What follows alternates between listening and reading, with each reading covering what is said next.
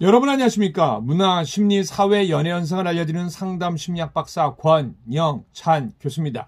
이번 시간엔 노래하는 젊은 철학자 우리 이찬원님 네 여러분들 한 해 달력 갖고 있습니까 우리 여러분들 이찬원님의 달력으로 개인적으로 만드신 분도 많으신데요 우리 이찬원님을 사랑하는 여러 찬스님들이 여러 가지 달력을 올려놨습니다 그 중에서도 예쁜 달력이 있어서 제가 1월 달부터 12월 달까지 올려드립니다. 우리 찬스가 만든 달력 한번 구경해 보시고 혹시 여러분들도 찬스 달력 만드시는 거에 한번 도전해 보시기 바랍니다. 아니면은 우리 인스타그램이나 여러 곳에서 이찬원님 달력을 프린팅해서 달력으로 써보는 것도 괜찮을 것 같습니다. 올해 설 복 많이 받으시고 올해 좋은 일 많이 생기십시오. 찬또복 하십시오.